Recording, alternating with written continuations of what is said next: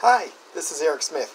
Time to do another quick look video, and I thought I would do it from Proverbs chapter 25, verse 26, and the Word of God reads this way A righteous man who falters before the wicked is like a murky spring and a polluted well. It's a very interesting verse in Proverbs. It says a righteous man. Now, we want to start off by saying right off the bat that we are not righteous in our own ability. So when it says a righteous man, it talks about a believer who's been imputed the righteousness of God. He's actually living a life based on God's laws and commandments because he loves God, he fears God, and God is moving him to do the right thing. That's why when it says a righteous man, it is a person that is actually living a life based on the righteousness of God, and that's based on the truth of God's word. So it says, a righteous man who falters.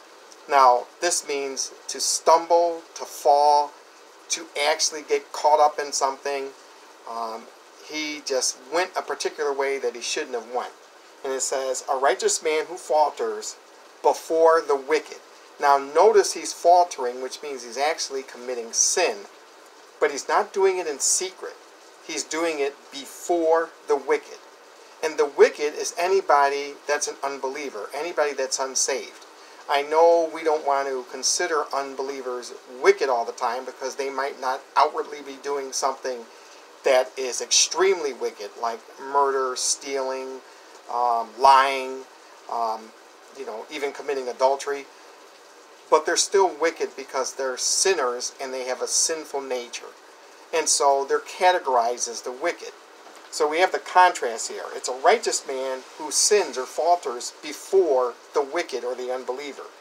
And the second part of this verse says, is like a murky spring and a polluted well. Notice the comparison that this uh, proverb, this verse in Proverbs is doing. It's saying a righteous man, a believer who falters or sins before the wicked, is like a murky spring and a polluted well. Well, spring is full of water. So is a well.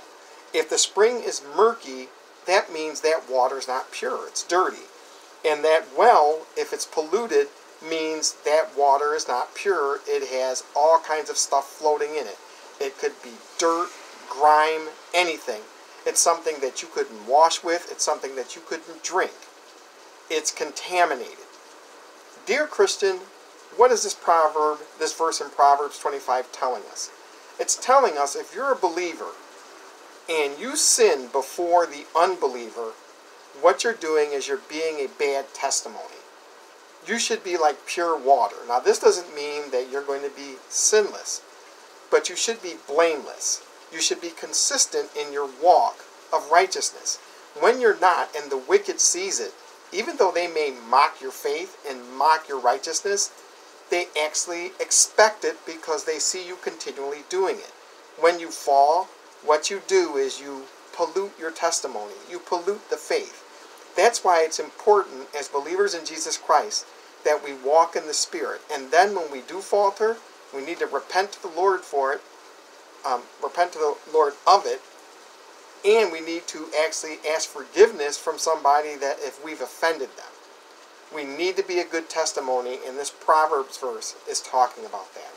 So this is Proverbs chapter 25, verse 26. I just wanted to do a quick look to encourage you, Christian, and also to remind you, Christian, that though you may falter and though you may sin, you need to repent of that and you need to be consistent about not doing it going forward. You need to be blameless before the unsaved world.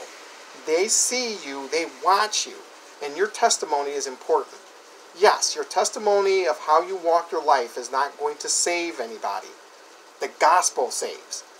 But they need to see that your gospel message lines up with your life. And if you're faltering, particularly if you're doing it consistently, then it won't. As always, if the videos on this channel have encouraged your Christian walk and edified you in any way whatsoever, but you have not subscribed to my channel yet, and you want to, hit the button. If you want to leave any comments, please do so, but please don't be snarky. Please do not be profane. We want to be Christ-like in, as, um, in everything we say and do as Christians. Sorry, a little tongue-tied. And until we do another quick look, remember, when you live and walk your Christian life, You're not going to be perfect. And this verse is not saying that you need to be perfect, but you need to be consistent. If you're stumbling and falling and sinning on a consistent basis, that's kind of scary. We shouldn't be doing that. And let me tell you something the unbeliever, the wicked world, is watching. Even though they may mock you, and even though they may persecute you, they shouldn't mock and persecute you because you're sinning. They need to mock and persecute you because you're being righteous and they're being convicted of it. And you should always have a good testimony of that. Thank you for listening. Thank you for watching, and God bless.